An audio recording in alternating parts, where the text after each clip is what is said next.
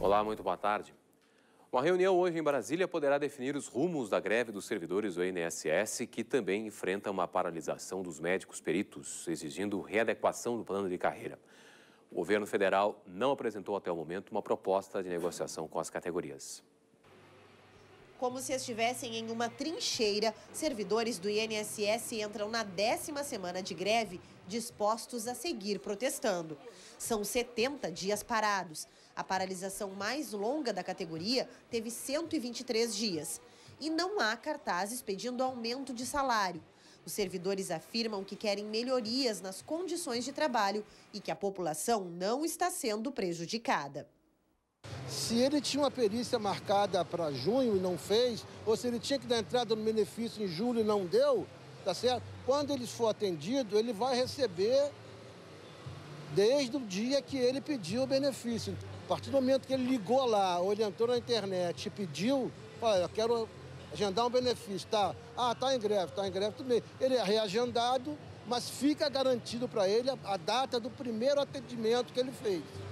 Este advogado previdenciário foi atendido, mas não conseguiu resolver o que precisava porque o sistema estava fora do ar. Enquanto isso, os clientes dele ficam sem respostas. A maioria dos meus clientes, no caso, é aposentadoria e pensão. E aí eles estão contando com esse recurso que eles não recebem. Tá? Ah, tem, ah, no caso aqui de hoje, são pensão de crianças. Tá? Eles não têm, não têm trabalho, não têm outra renda. Né? As pessoas que, que estão com essas crianças não têm condições de manter elas assim, sem esse recurso sem soluções também para quem tem perícia agendada. A greve dos médicos especialistas completa 10 dias e o atendimento está reduzido a 30%. Diferentemente, aquelas pessoas que ainda não estão recebendo nenhum benefício, aquelas pessoas que vão fazer a primeira perícia depois de adoecerem. Porque as demais, elas têm uma cobertura administrativa e elas permanecerão recebendo até fazerem nova perícia. Então, quem já está em benefício deve comparecer à agência onde foi marcada a sua perícia, para que essa prorrogação seja feita de forma administrativa. É muito importante que o segurado compareça à agência. Seguindo uma orientação unificada dos sindicatos que representam as diferentes categorias do funcionalismo público estadual, elas encerraram a greve em função do parcelamento dos salários. Mas pela manhã, o atendimento à população não era total. Os servidores pretendem pressionar a Assembleia Legislativa ao longo da semana para que os deputados não aprovem os projetos enviados pelo governo e, em alguns lugares, fazem uma operação padrão. Os policiais civis estão registrando todas as ocorrências, mas em um ritmo mais lento, como forma de protesto, e investigando os crimes de maior gravidade. Já em escolas, como o Protásio Alves e o Júlio de Castilhos, em Porto Alegre, a movimentação foi praticamente normal. Os trabalhadores em educação, no entanto, podem reduzir os períodos de aula. O objetivo é realizar atividades internas mantendo a mobilização. A população está assustada com a falta de segurança nas áreas de lazer da cidade de Porto Alegre. Mas, de acordo com a Prefeitura, a Guarda Municipal intensificou o patrulhamento, principalmente nos parques Marinha do Brasil e Redenção. Os parques são espaços públicos de encontro e de lazer. Eles aumentam a qualidade de vida. Mas a insegurança tem afastado a população. A iluminação já foi melhorada, especialmente no Parque Marinha do Brasil, onde a prefeitura gastou mais de um milhão em projetores e luminárias.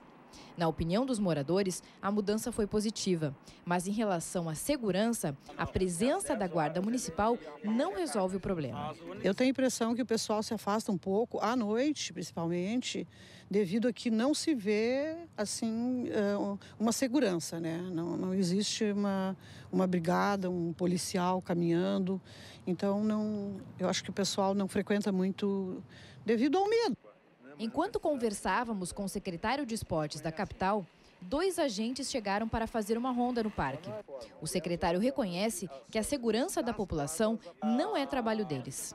Mas qualquer cidadão hoje ele está responsável pela segurança, né? Se a gente puder intervir, não deve intervir, né? Mas se a gente puder fazer alguma coisa para que isso não aconteça, eu acho que a gente tá, tem que estar preparado para isso. Na redenção, Apenas 30% do projeto da nova iluminação está concluída. A ideia inicial era de que a obra estivesse pronta até o dia 19 de setembro, quando o parque completa 80 anos. Até agora, o local continua muito escuro. A Guarda Municipal fica posicionada atrás do monumento ao expedicionário. 500 guardas civis por uma cidade de um milhão e meio de habitantes e nada é um pouquinho mais do que nada, também não sejamos injustos, né? O parque, como vocês acabaram de filmar, ele continua às escuras, está fechado há dois anos e essa é a característica desse prefeito. A função da guarda é o patrulhamento do patrimônio da cidade. Por turno, o efetivo médio é de 130 agentes. Cerca de 50% deles têm porte de arma. Eles estão contribuindo para a segurança, que é responsabilidade do Estado. O clima ameno e de sol do domingo atraiu centenas de pessoas para o Jardim Botânico de Porto Alegre. O espaço recebeu a 16ª edição do projeto chamado Jardim Ação. Quem esteve no parque pôde acompanhar apresentações musicais e culturais. As ações desenvolvidas neste dia integram a consciência do meio ambiente sustentável com espaços de arte no espaço público do jardim. O evento é organizado pela Fundação Zoobotânica em parceria com entidades da sociedade civil. O Jardim Ação ocorre todos os anos na chegada do outono e da primavera, nos meses de março e setembro.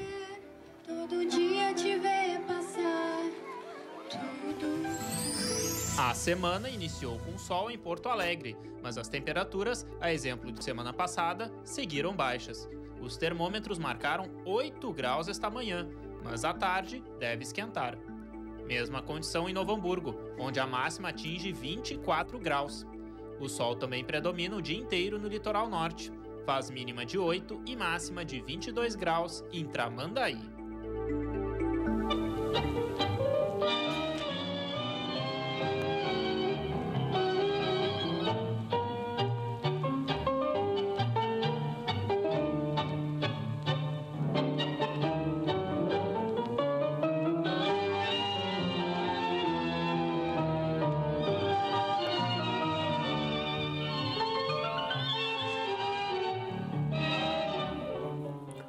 Voltamos a falar de saúde. Gestores, trabalhadores, usuários e conselheiros do setor que integram a Frente Gaúcha em Defesa da Saúde Pública estiveram reunidos esta manhã no auditório Dante Baroni da Assembleia Legislativa. O encontro teve a participação de parlamentares e integrantes do Poder Executivo. A Frente Gaúcha foi criada para unificar as ações a fim de encontrar alternativas para solucionar a crise da saúde pública. Entre as reivindicações para o Estado estão a exigência do repasse regular e mensal dos 12% estabelecidos por lei, garantia de aplicação prioritária de novos recursos na saúde, manutenção dos recursos livres para o custeio, cofinanciamento dos hospitais e não redução de serviços e de financiamento nos novos contratos. Já em relação ao governo federal, a meta é a ampliação dos recursos orçamentários destinados à saúde e uma maior participação da União no financiamento das UPAs. O Rio Grande do Sul é o estado com maior índice de detecção de AIDS do Brasil. São 40 casos para cada 100 mil habitantes. O dobro na média nacional. Em Porto Alegre, o problema é ainda maior. 96 casos para cada 100 mil habitantes. A capital lidera o ranking de HIV do país. E para reverter esse quadro, um projeto conscientiza jovens sobre os riscos das doenças sexualmente transmissíveis. E quem participa pode fazer testes gratuitos de DST. A maioria dos jovens diz que sabe como prevenir doenças sexualmente transmissíveis. Usando a camisinha porque previne todos os tipos de doença, a pílula só previne a gravidez e mesmo a gente tendo um parceiro fixo, a gente tem que ter certeza né, que a gente está limpo e tal. Mas nem todos tomam os devidos cuidados. Tamires é uma das voluntárias do projeto que busca conscientizar sobre a importância da prevenção e conta que os descuidos são frequentes nessas conversas assim que a gente tem com eles, de se eles usam camisinha, não só meninos, mas meninas também. E a gente vê que tem um certo receio, assim, que eles não uh, usam o preservativo, mas a gente também aconselha a usar outros métodos de prevenção. Porto Alegre é a capital que concentra o maior número de casos de HIV em pessoas com até 39 anos. E o problema é maior na faixa etária dos 13 aos 24. esses jovens nasceram num momento em que já tinha tratamento para AIDS, né? Então aquela preocupação, ah, eu vou transar sem camisinha, tal, não vai dar nada, se eu me contaminar tem tratamento, né? Então é importante que a gente conscientize esse jovem que mesmo tendo tratamento, é importante que ele previna. Para tentar reduzir a incidência da doença, o projeto Fique Sabendo Jovem, promovido pela Unicef em parceria com a Prefeitura de Porto Alegre, está percorrendo a cidade para alertar sobre o risco das DSTs. O projeto conta com uma unidade móvel onde são feitos testes rápidos para detectar sífilis, hepatite C e o vírus HIV. O resultado sai em menos de meia hora. O diagnóstico precoce facilita o tratamento e ainda evita novos contágios. É importante por duas coisas. Uma, que eu mantenho a minha saúde bem, eu mantenho a minha qualidade de vida. E a outra que também, à medida que eu tomo a medicação e que eu sei que eu tenho HIV, se eu peguei, provavelmente eu transava sem usar uma barreira, que é o preservativo, né, a camisinha.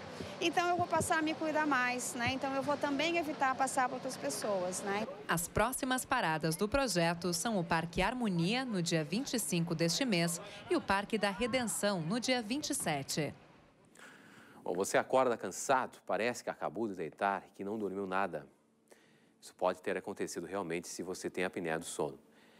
A gente vai conversar sobre esse assunto com, uh, que atinge 30% da população, uh, com a médica Ângela Beatriz Ion, do Laboratório do Sono do Hospital de Clínicas. Boa tarde. Boa tarde. Antes da gente conversar, a gente vai ver uma, uma enquete, umas entrevistas, a gente vai falar com o pessoal na rua. É que a gente vê agora. Quantas horas por dia tu dorme? Oito. Oito horas por dia. E é o suficiente? Ah, o suficiente. Fim de semana até se prolonga esse tempo, né? E ronca? Não. Não ronco. Tem certeza? Até agora eu só tive comentário favorável nesse sentido. O ronco, porque eu trabalho à noite, durmo de dia, então a minha esposa é que reclama muito. E incomoda o senhor também? Às vezes em quando eu chego a me acordar assustado pelo meu próprio ronco. O que tu já ouviu assim de reclamação? Porque ali eu não consegue dormir direito, porque tá no lado ali e escuta junto, e acorda, a pessoa acorda. Isso te incomoda também? Incomoda. Tem alimentação, agora eu mudei um pouco, porque a gente jantava de noite. Eu tô mais tomando café. E eu Melhorou? Acho... Claro, claro. Faz uma diferença muito grande. Muito bem, a gente ouviu aí um pouco do pessoal falando sobre a questão de ronco, enfim. Uh, a apneia do sono tem relação com o ronco? Então, o ronco faz parte, é um sintoma que faz parte da, do quadro clínico da apneia do sono. Né? A apneia do sono, então, é caracterizada geralmente pelo paciente que ronca e tem um ronco alto, seguido de uma parada respiratória que pode ser parcial ou total, completa. Né? A pessoa pode também referir que acorda engasgada, acorda sufocada Sim. várias vezes à noite. Pode acordar com a boca seca pela manhã, dor de garganta, dor de cabeça e ter a repercussão diurna de uma noite mal dormida, né? Como ele falou, parece, né, muitas vezes que não acorda tão bem, então é um sono não reparador, não restaurador, porque a gente tem de imaginar que esse ciclo ronco, apneia, acordar, isso acorda várias vezes numa noite de sono, impedindo muitas vezes que o paciente chegue a um sono mais profundo e ao restauro corporal e mental. Então, o paciente realmente acorda cansado, sonolento durante o dia, com cochilos, adormecendo em situações e em locais não usuais, né, prejudicando todo o seu desempenho durante o dia. Sim. Então, realmente, isso pode acontecer. Nem todos, é importante frisar que nem todos que roncam vão ter apneia. Né? Ah, Muitas sim. vezes pode coexistir existir apenas o ronco, isso pode ser também uma fase inicial da doença e com a evolução, com o envelhecimento, a pessoa apresentar apneia na sequência, mas muitas vezes pode existir só ronco, mas claro, é um sinal de alerta especialmente um ronco de uma intensidade mais alta, né? Sim, uh, uh, por acaso, ele ali teve um, teve um, dos, um dos entrevistados ali uhum. que mudou a alimentação uhum. e melhorou a questão do ronco. Isso Sim. pode acontecer? Pode, a gente tem algumas, alguns hábitos e algumas substâncias que podem provocar um relaxamento maior da musculatura da via aérea superior, dessa região da garganta, que é a região, então, que vai sofrer um colabamento ou um desabamento né, durante o sono, uma flacidez. Então, a gente sabe que evitar álcool, né? evitar tranquilizantes, sedativos, relaxantes musculares. Isso vai ser um mecanismo de proteger essa via aérea e evitar que piore um quadro muitas vezes já estabelecido. E o fato, muitas vezes, os pacientes referem que estão muito cansados, roncam mais, ou comem né, refeições fartas ao final do dia. Tudo isso é desfavorável, sem dúvida. A doença, a apneia pode ser confundida com outras doenças? Pode, a gente não. pode ter sintomas sobrepostos, digamos assim, podem coexistir, porque é uma doença muito prevalente, como a gente viu. Uhum. Atinge de 10 até 30%, um estudo, um levantamento na cidade de São Paulo mostrou isso, pode existir. Então, por exemplo, paciente que tem asma, muitas vezes os sintomas podem se confundir, né? Se acordar muitas vezes engasgado, sufocado. Um episódio mais intenso de refluxo gastroesofágico também pode mimetizar os sintomas. E, por exemplo, pacientes com insuficiência cardíaca, né, que muitas vezes têm falta de ar, acordam no meio da noite também com falta de ar. Isso pode, muitas vezes, confundir a pessoa. Bom, para isso tem que fazer um diagnóstico. Sem dúvida, tem que fazer um diagnóstico diferencial, né, bem feito, com preferencialmente com um profissional treinado da área do sono para que possa uh, discernir as duas situações e se as duas existirem tratar as duas situações. Né? E é, com, como é que é feito o tratamento no caso da apneia? Então, é, primeiro a gente tem, tem que ser feito o diagnóstico. Sim, diagnóstico. Então, né, o diagnóstico é feito no laboratório do sono, idealmente, em que o paciente passa uma noite no laboratório, todo monitorizado com sensores, né, eletrodos. Então, a gente vai monitorizar a atividade elétrica cerebral, uh, o, a, na verdade, a respiração, o fluxo aéreo, esforço respiratório, oxigenação, se ronca, não ronca, movimentos de pernas, para que a gente possa definir existe ou não apneia e qual é a gravidade. Né? Se o paciente tiver o que a gente chama de um índice de apneia e hipopneia, ou seja, paradas respiratórias parciais ou totais mais de 5 por hora de sono, esse paciente já tem um diagnóstico de apneia ah, do sono. Sim.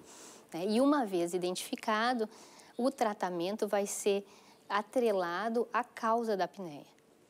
Né? Então, a gente vai então, precisar definir antes quais são as causas, qual é o mecanismo que está levando esse paciente até a apneia do sono. Esse diagnóstico pode ser feito também pelo SUS? Esse, esse diagnóstico pode ser feito pelo SUS também. Lá no Hospital de Clínicas é o único laboratório no sul do Brasil que presta esse tipo de atendimento pelo Sistema Único de Saúde, pelo uhum. SUS.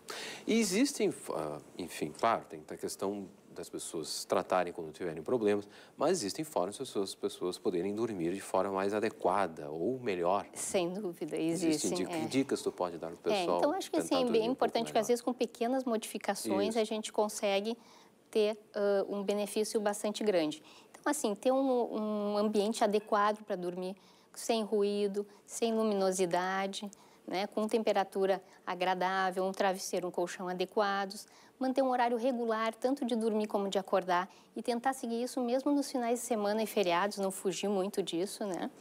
Evitar, então, isso que a gente já conversou um pouquinho, dessas substâncias que podem favorecer esse relaxamento da musculatura, então álcool, relaxantes musculares, evitar o cigarro, que causa uma inflamação dessa via aérea, retenção de líquidos e pode piorar uma apneia. Evitar estimulantes próximos do horário de dormir, então quatro a seis horas antes, principalmente a cafeína. Então, café, chocolate, chimarrão, energéticos, refrigerantes, todos eles são estimulantes que podem prejudicar a pessoa no ponto de dormir. Uma coisa muito atual, que as pessoas têm muita dificuldade de se desvincular, é das, da luminosidade vinda das telas. Ah, então, sim. evitar exposição à televisão, celular, tablet, jogos eletrônicos, que isso é uma fonte de estímulo e vai dificultar, e hoje a gente vê essa realidade principalmente nos adolescentes, é, uma dificuldade de, de conciliar o sono, muito por causa disso. Se desprender das telas. Né? Exatamente. Conversamos com a médica Ângela Beatriz Ion, do Laboratório do Sono do Hospital de Clínicas. Quero agradecer muito a tua presença Não, aqui no canal aberto novamente. Muito obrigado. Obrigada. Obrigado, doutora. Bom dia. Boa tarde. A região norte registrou mínimas bastante baixas na manhã dessa segunda-feira. Em Caxias do Sul, a temperatura chegou a 3 graus. Apesar disso, o dia será de céu aberto, sem nuvens. No Planalto Médio, a nebulosidade baixa faz o sol predominar. Faz 20 graus em Passo Fundo à tarde. E no Noroeste, o sol dá lugar às nuvens ao anoitecer. A máxima chega a 23 graus em Ijuí.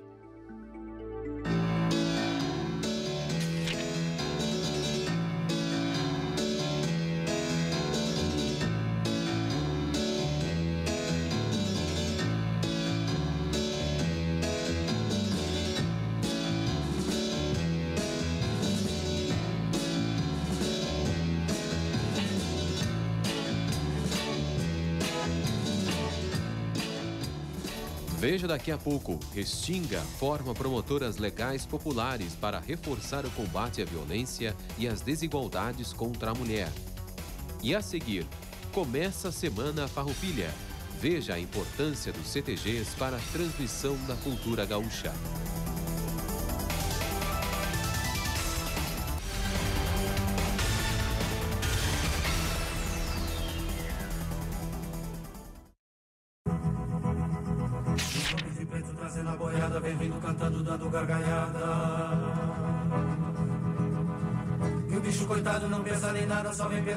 Direita. Deus, Deus, Deus, Deus, Deus, você fez.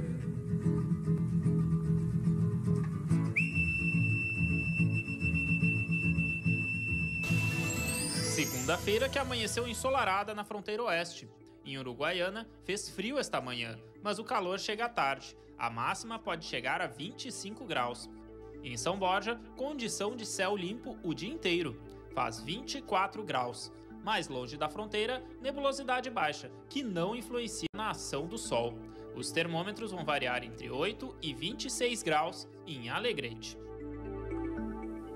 A tradição é uma das marcas da cultura gaúcha e muitos fazem questão de manter e transmitir essa cultura de geração em geração. Hoje tem início a Semana Farroupilha. Até o dia 20 de setembro, o canal aberto vai apresentar uma série especial sobre as tradições gaúchas, produzida pela TV Fevale, parceira da TVE em Novo Hamburgo. Hoje, no primeiro episódio, vamos mostrar como tudo começa dentro de um CTG. De setembro, o precursor da liberdade. É na marcação da bota e no bailado da saia que tudo começa. Em fila, os jovens pares adentram a pista de dança e é só esperar um pouco para a música começar.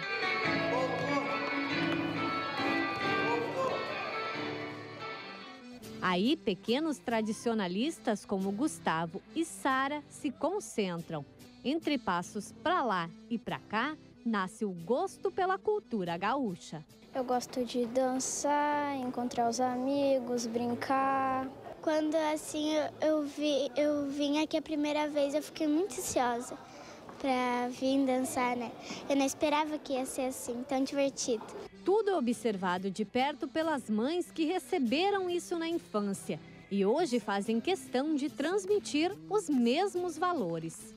Acho bastante importante a gente manter as nossas tradições, né? E é um ambiente muito seguro, um ambiente familiar, onde todas as idades vêm e eles vêm gostando muito. Desde criança sempre foi me passado isso, é sempre cultivar as tradições do Estado, eh, de família. E o que é aprendido aqui nunca se perde, né? E é a tradição do Estado, é a... cultivando, né? As origens, as tradições. Mas para tudo ficar perfeito é preciso conversa. Conversa muita conversa para acertar o passo. A dedicação vem de quem também tem a tradição no sangue desde a infância. Os dois professores de dança também dançam em invernadas maiores, na juvenil e na adulta, e também vieram cedo para dentro do CTG. Como é que é para vocês essa relação com a tradição de hoje também ensinar, passar isso para os outros? Bom, é, é muito boa a sensação, sabe, de tu poder levar teu conhecimento para as crianças, assim, sabe? Porque a gente sabe o quanto é bom estar tá dentro desse meio tradicionalista, dentro do galpão aqui, ensaiando. Se precisar ensaiar todos os dias, a gente ensaia, porque a tradição realmente vem de berço, né? Vem do meu avô, meu pai, foi passando para mim. E eu quero passar para os meus filhos também.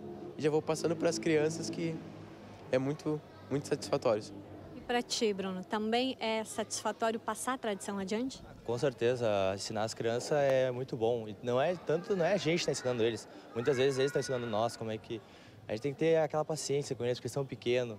Porque a gente sabe como é que é, é difícil. Bah, toma um xingão lá, faz de novo, faz de novo, faz de novo. Ele não pode assim. E o jeito que eles vieram, sabiam nada, e agora eles dançam muita coisa, estão muito bem. Claro, não são profissionais, não são os melhores, mas estão dançando muito bem. E é uma coisa que eu aprendi desde pequeno é melhor estar no CTG do que estar na rua fazendo outra coisa errada. Então o CTG é uma coisa que é a tradição, é mostrar para eles o que, que é, onde é que eles vieram, onde é que eles nasceram, o que, que é a nossa tradição. É em locais como esse que tudo acontece. Os centros de tradições gaúchas, ou simplesmente CTGs, são uma marca do Rio Grande do Sul. O primeiro surgiu em 1948 em Porto Alegre.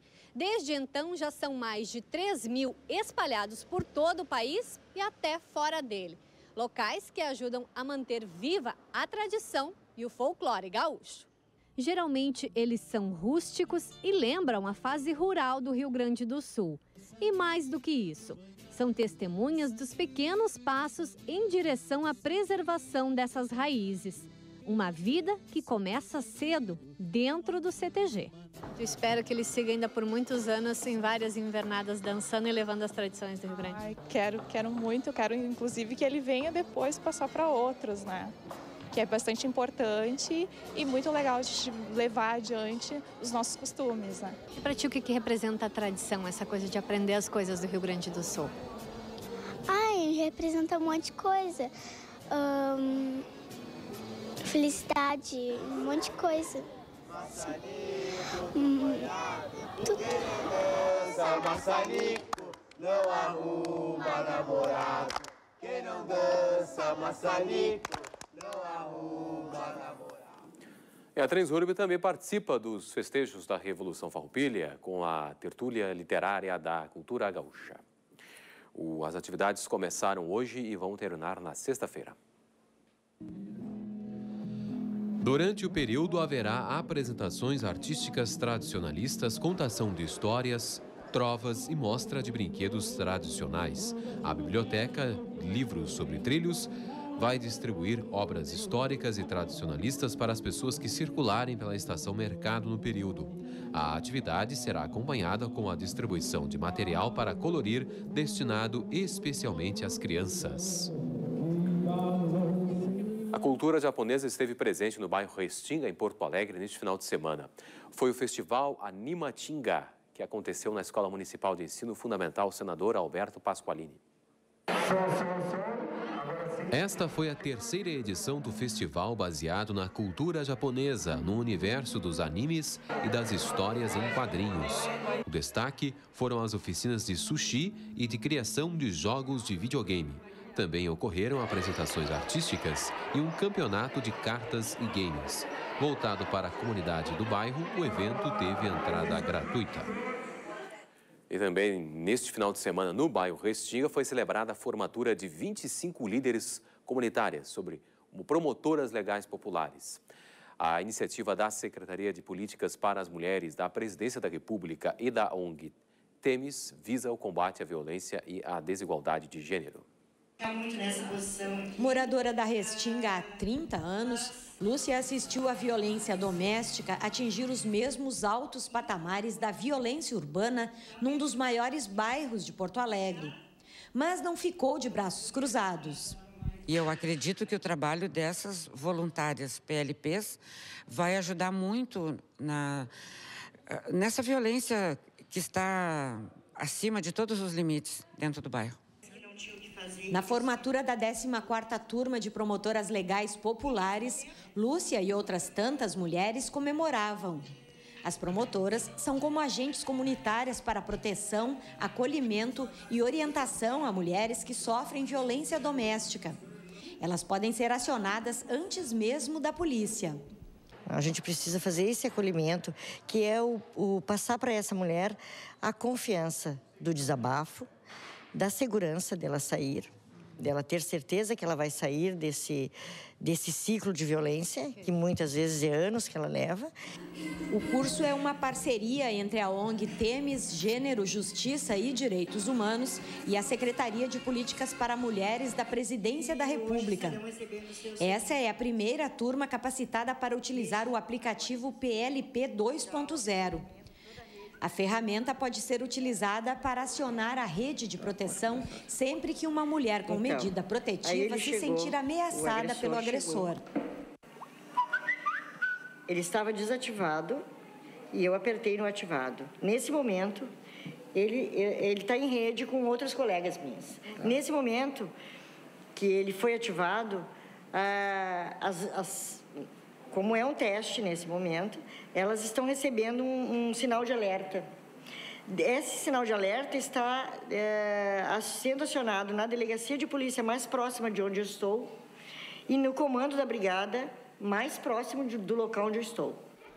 A Restinga foi escolhida para o projeto piloto com o aplicativo porque é o bairro que concentra o maior número de medidas protetivas para vítimas de violência doméstica.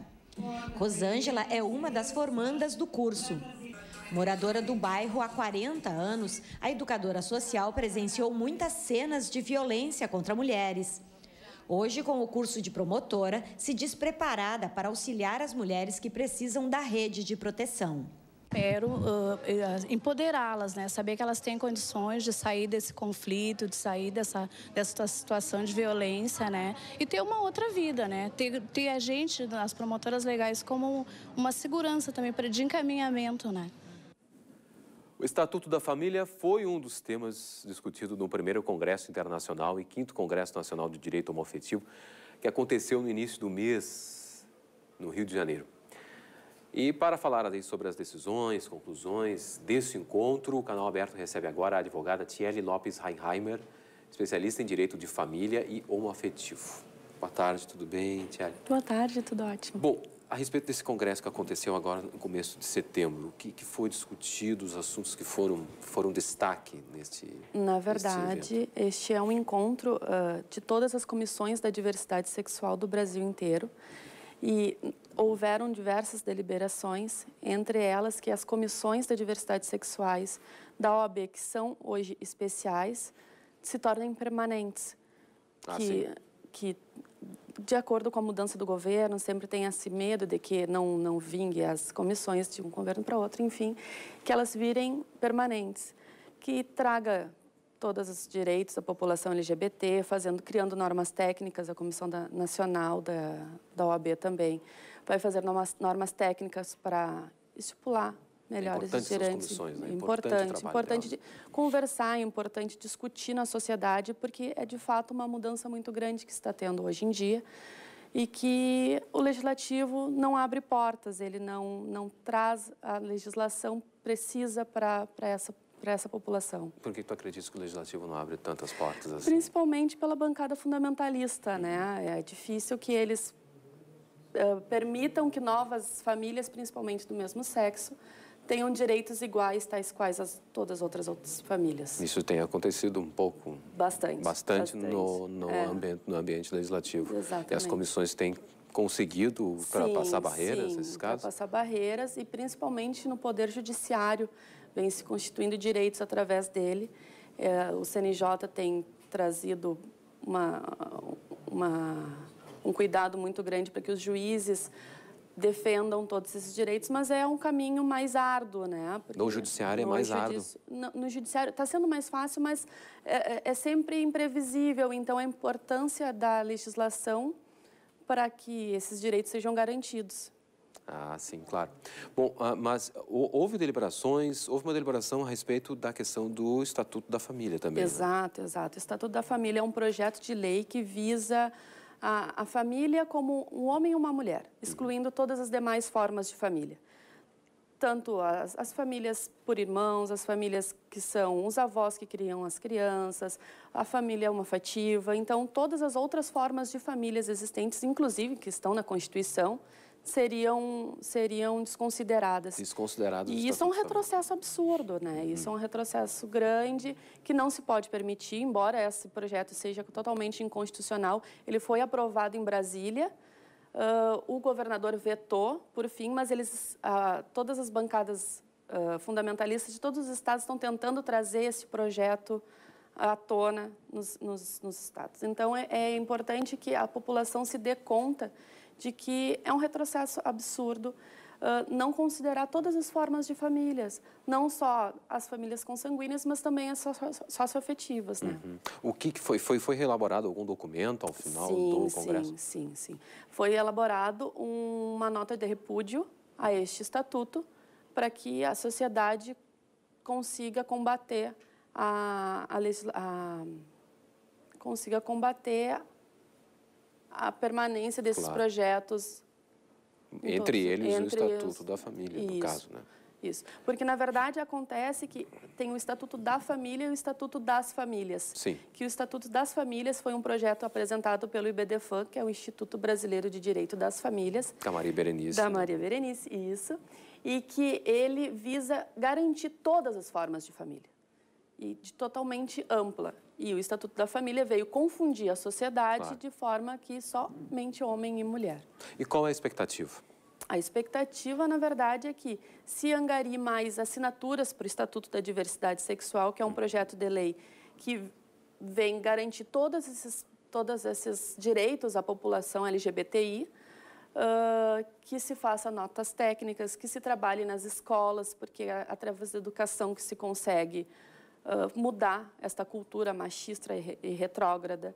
Ah, então, de como trabalhar isso na sociedade e trazer essa legislação através da iniciativa popular. E o âmbito judiciário tem sido um Tem âmbito bem sido aberto, tem conseguido aberto. avançar nesse Sim, sentido diversos relacionado a direitos. direitos. Na verdade, tanto a adoção, direitos previdenciários, ah, direitos trabalhistas, ah, danos morais, enfim, a- a- o judiciário tem garantido todos os direitos que a população LGBT LGBTI precisa ah, que seja resguardado.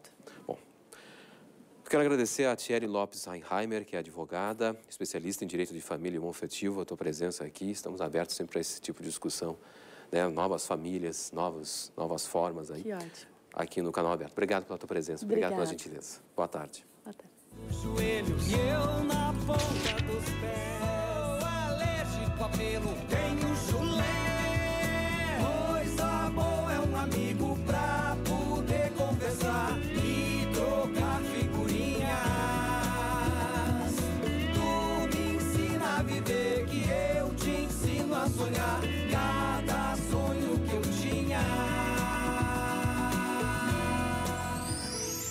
Tendência de nebulosidade baixa nesta segunda-feira no centro do estado. Em Santa Cruz do Sul fez 9 graus esta manhã. À tarde, a temperatura aumenta.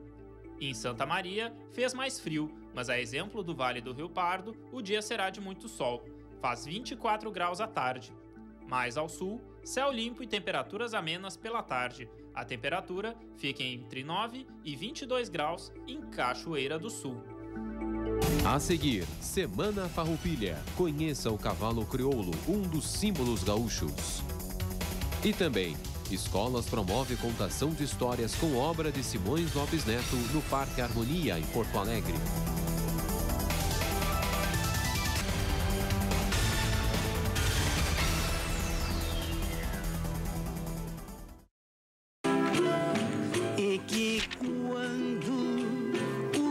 Amigos do peito por mim perguntaram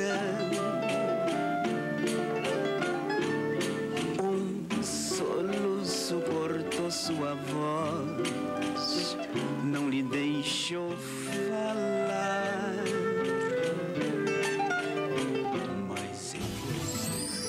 Começo de semana frio e de sol na região sul do estado. Bagé registrou 10 graus esta manhã. À tarde, as temperaturas aumentam. Mesma condição em Pelotas, onde fez mais frio esta manhã. A máxima não passa dos 23 graus. E no litoral sul, dia de bastante sol com baixa possibilidade de nuvens.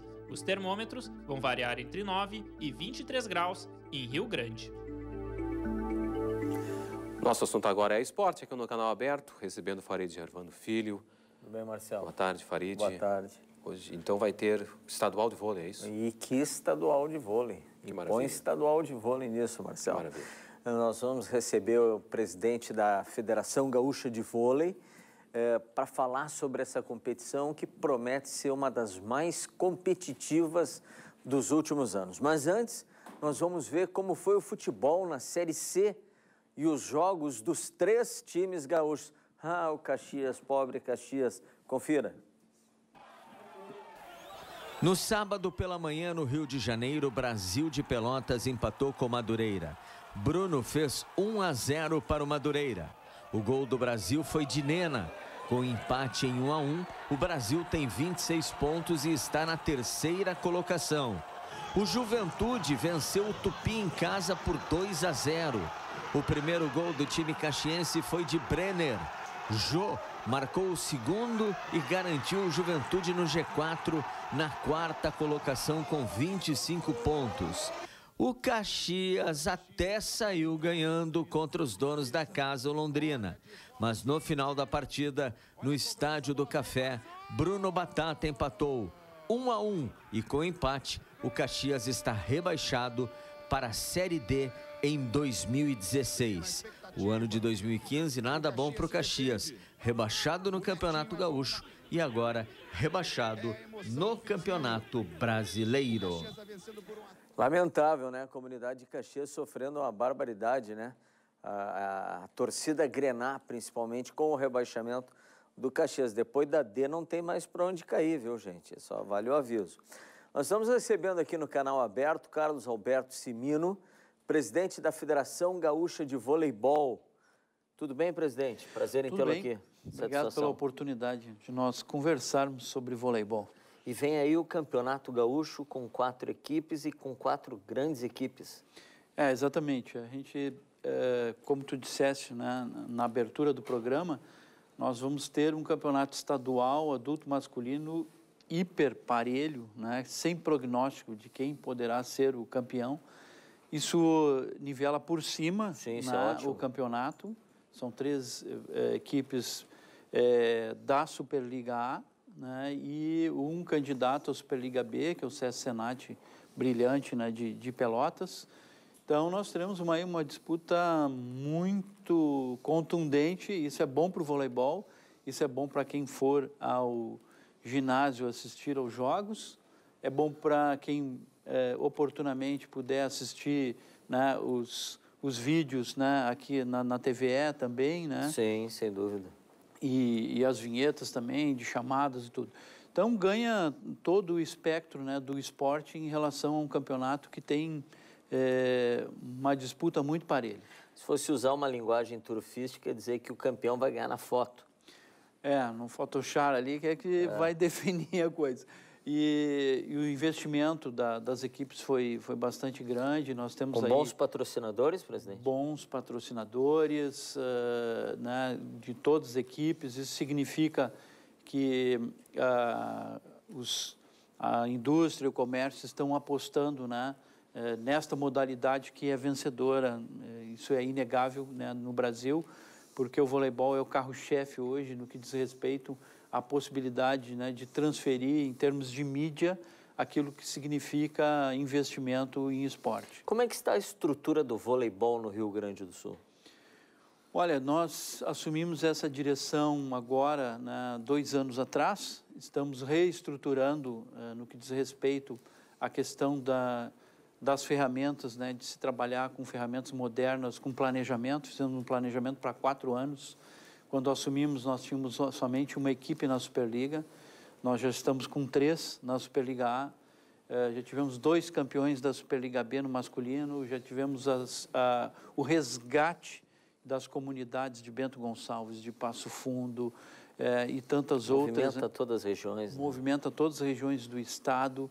Eh, estamos investindo muito na base, né, que é o, também um celeiro de abastecimento das seleções brasileiras, né, das categorias de base. Estamos investindo em recursos humanos, né, com cursos de capacitação dos professores, dos profissionais. Então, isso significa que a gente está no caminho certo, porque os resultados estão aparecendo antes do que a gente previu. Então, tá bom. Presidente, eu quero agradecer muito a sua participação. Será a primeira de muitas, né? Com certeza. Nessa parceria da TVE com a Federação Gaúcha de Voleibol e aqui no canal aberto, no TVE Esportes. Perfeito. Conte com a gente, presidente. Quero te passar o calendário ah, e também uma camisa do voleibol. Né, oh, que maravilha. Aí no teu, no ah. teu jogging aí no final de semana, a gente vai nos mostrar parques de Porto Alegre. Ah, certo, muito obrigado. Obrigado pela presença e sempre conosco, presidente. Com certeza. Obrigado.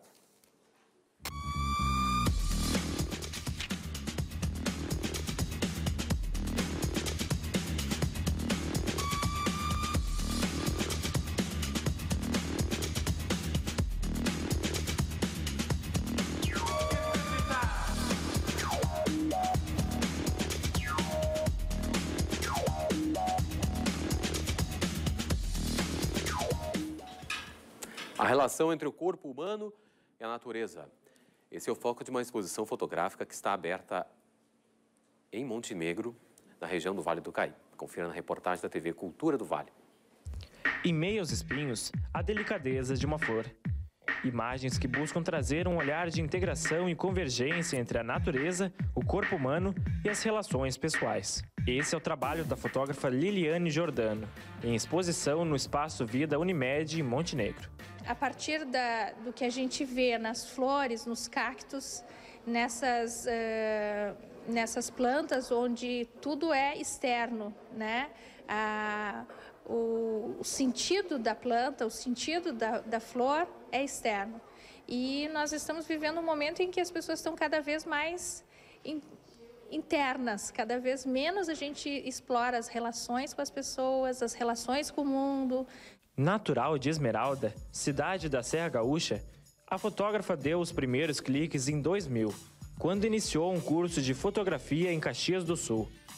Hoje, já formada na área há 10 anos, a artista tem como maior desafio buscar uma imagem que represente a essência do que está sendo capturado.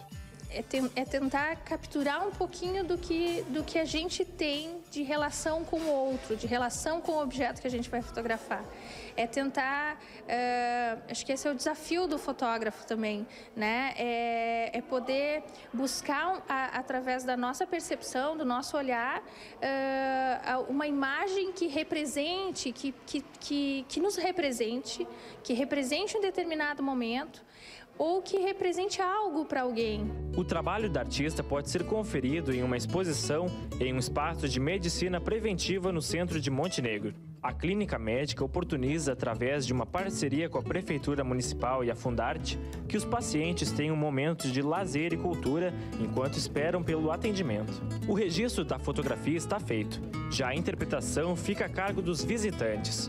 A mostra segue até o dia 6 de novembro. A reinvenção da pintura é o nome da exposição do artista visual potiguar Abraham Palatinic que se encontra aberta para visitação no Museu Iberê Camargo até o dia 4 de outubro. São mais de 80 obras do artista que também vai participar da Bienal do Mercosul. E para falar mais sobre ele e a exposição, está conosco aqui a jornalista da FM Cultura, a Lena Kurtz. Boa tarde, Lena. Tudo bem? Boa Vamos tarde, falar então olá, sobre Marcelo Abraham Weber, Palatnik. Boa tarde a todos. Isso, olha, eu vou falar desse artista visual que, na verdade, é mais do que um pintor, mais do que um escultor, ele é um inventor. Pois ele é o Abraham Palatnik, um artista brasileiro que foi um dos pioneiros e é ainda, até hoje, a maior referência em arte cinética, não só no Brasil, como no mundo. A arte cinética, para quem não sabe e para quem sabe lembrar, é uma corrente da arte que explora efeitos visuais por meio de movimentos físicos e ilusão de ótica em obras que geralmente têm instalações elétricas que criam, então, uh, o movimento e, através desse movimento, produzem jogos de luzes. O trabalho do Palatinic está, então, como o Marcelo já falou, né, Marcelo, numa retrospectiva no Museu Iberê Camargo, onde estão sendo apresentadas 78 obras numa retrospectiva, englobando é, trabalhos desde 1940 até mais ou menos 2000. É, vocês estão vendo aí nas fotos que, através do trabalho dele, ele realmente expande os limites da pintura e da escultura, usando não apenas tela e tinta, enfim, todos aqueles objetos que são mais tradicionais, mas também lâminas de madeira e de papel cartão que ele vai cortando a laser e vai montando. E vocês vão ver, tem alto relevo, é uma coisa muito linda, cria ilusão de ótica e sempre movimento e ritmo. São objetos que se movimentam, inclusive, alguns deles sozinhos, exatamente porque tem motorzinhos né, para fazer essa movimentação. É o caso do objeto cinecromático, que é o ponto alto dessa exposição, que se constitui em uma caixa com lâmpadas e telas coloridas que se movimentam acionadas então por esses motores, né, como eu falei, um mecanismo que gera, então, uma série de imagens com luzes em movimento e se tornam, todos vocês podem ver aí através das imagens, se tornam uma pintura, pinturas uh, com luzes em movimento, uma coisa fantástica, só vendo mesmo ao vivo para ter a ideia. Mas, de qualquer ma maneira, as fotos são lindas do cine cromático e elas estão, elas são da fotógrafa Ana Bede. Os mecanismos que dão, então, movimento e ritmo ao trabalho do eh, Palatinic se deram em função da formação dele em engenharia, com especialização em motores a combustão, é, que ele cursou na Universidade de Tel Aviv, em Israel.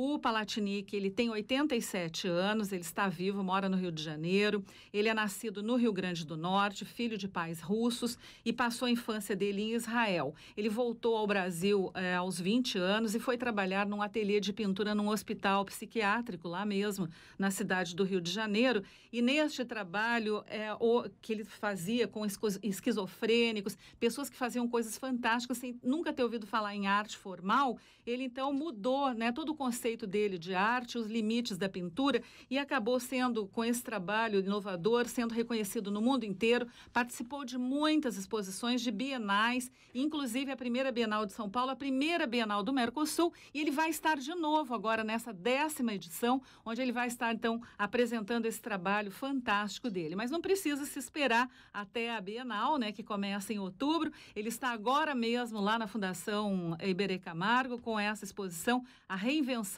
da pintura que vale a pena conferir. E era essa, então, a dica de hoje. Abraão Palatinic, Palatinic e a reinvenção da pintura.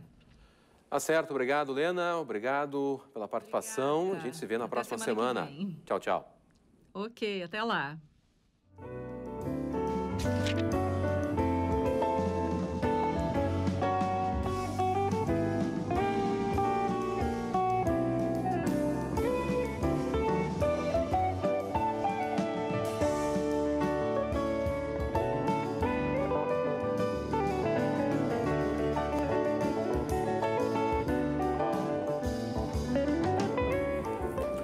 Alunos de uma escola de Caxias do Sul, na Serra Gaúcha, puderam conhecer de perto um dos símbolos do Rio Grande do Sul, o cavalo crioulo. A TV Caxias nos mostra essa visita que faz parte da programação da Semana Farroupilha. Cavalo Crioulo nas escolas é um projeto inovador. Este ano, apenas duas escolas municipais tiveram acesso a um conhecimento diferenciado sobre essa raça. Em um primeiro momento, os alunos do quinto ano da escola Américo Ribeiro Mendes aprenderam as principais características do cavalo crioulo. A funcionalidade dele, ele é um animal de fácil manejo, é um animal resistente, ele é adaptado a nossa condição climática aqui, né? Ele se sobressai, é uma das grandes características do, do cavalo, a inteligência, né? a capacidade de aprendizado que ele tem, né? E a resistência, sobretudo. Com uma didática particular, os tradicionalistas também levaram a música gaúcha para a sala de aula.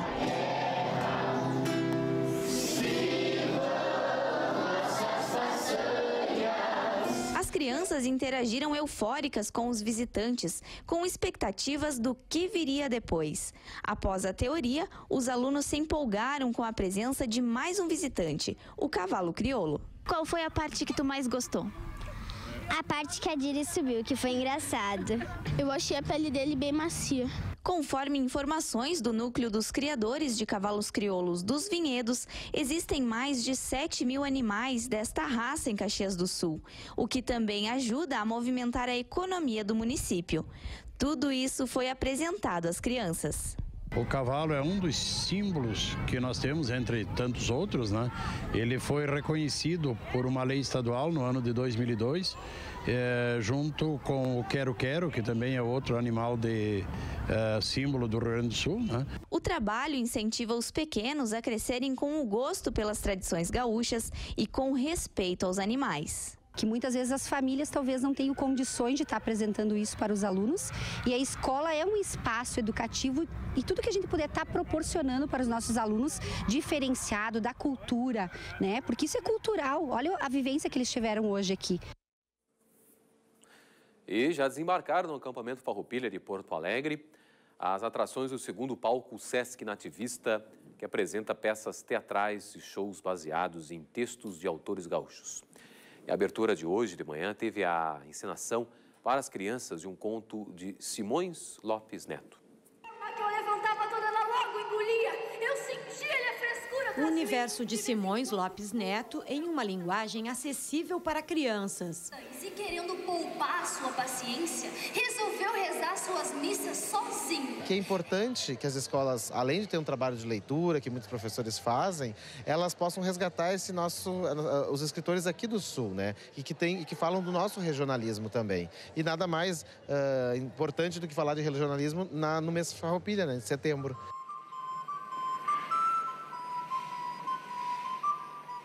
Efeitos sonoros, figurino, encenação. O texto do autor gaúcho ganha outros elementos na contação de história, atrativos para que os estudantes se aproximem da literatura. E fazer com que elas tenham esse interesse assim pelas leituras e pelas formas mais lúdicas mesmo de falar sobre o nosso estado, sobre nossa cultura mesmo, né? Acho que é super importante assim. A plateia, formada por estudantes de escolas públicas e de projetos sociais de Porto Alegre, consegue se aproximar das coisas campeiras de Simões Lopes Neto. A contação de histórias é uma das atrações do Palco Sesc Nativista, que acontece até sexta-feira na Casa do Gaúcho do acampamento Farroupilha. O Palco Sesc Nativista ele trabalha com várias linguagens, música, artes cênicas e através também da literatura, fazendo uma intervenção cênica com a literatura, ainda mais o centenário do Simões Lopes Neto. O agendamento de escolas para a contação de histórias pode ser feito pelo e-mail vera.lucia.mb@hotmail.com ou pelo telefone 3284 2070 em horário comercial.